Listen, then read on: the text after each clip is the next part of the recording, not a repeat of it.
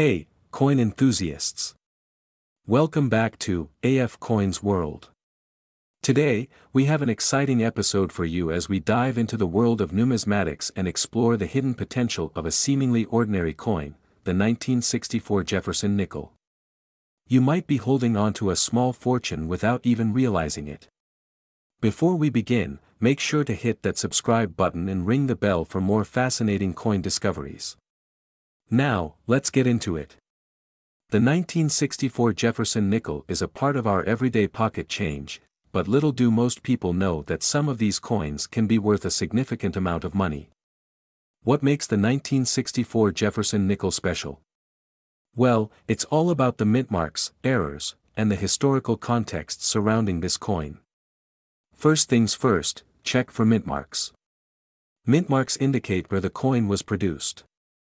For the 1964 Jefferson nickel, mint marks can be found on the reverse side, just above Monticello. Pay close attention to the D for Denver and S for San Francisco mint marks. The absence of a mint mark might also hold value, so keep an eye out for plain 1964 Jefferson nickels. Next, let's talk about errors. Coins with mistakes during the minting process can be incredibly valuable. Look for double dies, repunched mint marks, or other anomalies on both the obverse and reverse sides. Even the smallest error can turn your ordinary nickel into a collector's dream. Understanding the historical context is crucial. The year 1964 was significant due to the transition from silver to copper-nickel composition in U.S. coins. Some early strikes of the 1964 Jefferson nickel were made with a 90% silver composition, making them exceptionally rare and valuable. Check the weight and composition to identify these special coins. Now, let's take a look at some real examples of 1964 Jefferson nickels that have fetched big money in the market. From high-grade uncirculated specimens to those with unique errors, these coins have become prized possessions for collectors. Remember, the condition of the coin plays a crucial role in determining its value. To provide more insights into the value of the 1964 Jefferson nickel, we have AFZU, a renowned numismatist, joining us today. Welcome, expert's name.